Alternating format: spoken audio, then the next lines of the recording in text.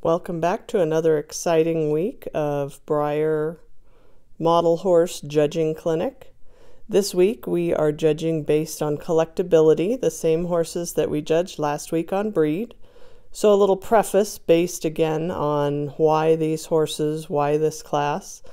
Every region has different conventions on how they assemble their classes. The region that I show most consistently in will set up a class, a breed class, and then concurrently judge on breed and collectability. So, same horses on the table will be judged twice at the same time.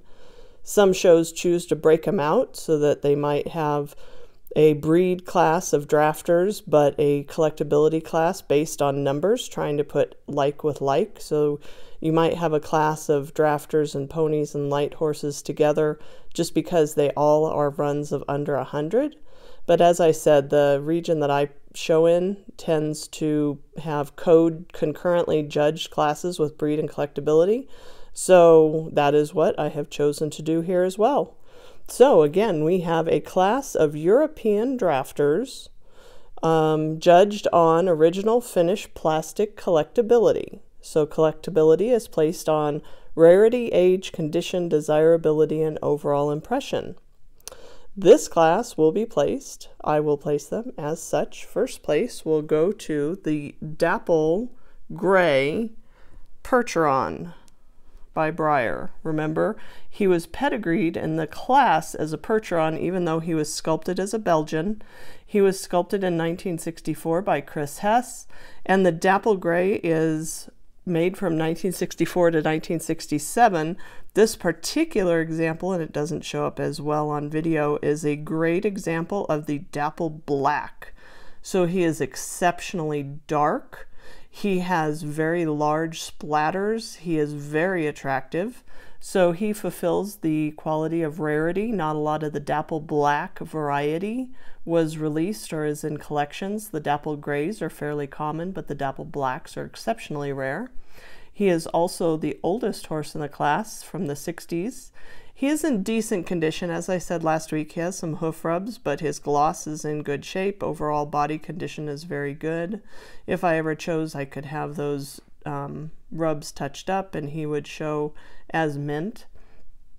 Very desirable. So this horse has the whole package of rarity, age, condition, and desirability. So he's a pretty clear first place, first place horse. Second place is our Othello mold, who we chose to breed assign Poitevin from France.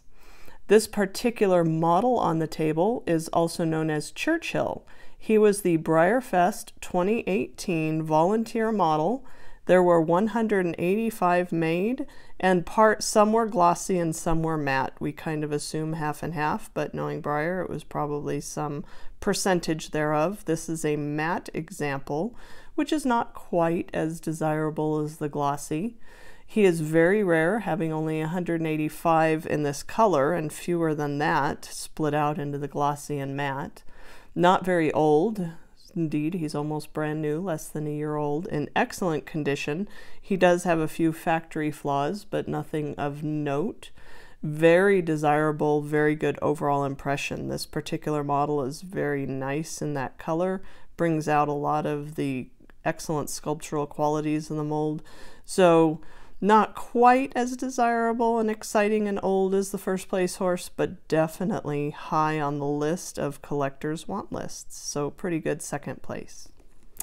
Next, we have the Cedar Farm Wixom, sculpted by Donna Chaney. Uh, he, this particular model um, pedigreed as a Percheron, is also known as Bellefleur, is this example of the horse.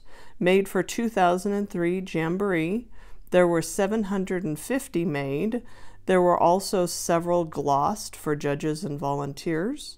However, the 750 is does include all the mats, so it's not like the previous horse where the number was divided up into glossy and matte. This is 750 of the mats. So, rarity, fairly rare. You could only get them if you went to or knew someone who went to Jamboree in 2003. Fairly old, 2003 is a day or two ago now. Time flies when you're having fun. excellent condition. Again, just a few sort of factory flaws, but nothing significant. Fairly desirable. This is a great show horse, excellent conformation. As we saw, he won the breed class. So the, mo the mold itself is highly desirable and a fairly small run, 750. Although we're used to micro runs nowadays, 750 is still a fairly small number. So a pretty good, pretty desirable horse. Has a nice package, but still definitely a third place horse compared to our first and second place. And finally, our poor little Maureen Love sculpted uh, stablemate drafter. This was sculpted as a Percheron, made sculpted by Maureen Love, released by Breyer in plastic. This particular example was a 1990 Sears special run of 5,000. Still pretty desirable and hard to come by. He is a great show horse. Um, definitely good conformation, and the black is a good example of the Percheron breed. So has a pretty good package and again 1990, a little older, probably the second oldest horse in the class. Rarity, however, he's definitely the most common. So he's a pretty solid fourth place. So this is our class of European drafters judged on collectability. First place is our Dapple Black, old style Percheron. Then comes our Othello mold, as the Breyerfest um, volunteer model, then the Bellefleur Jamboree Percheron, and finally our Sears Stablemate Special Run.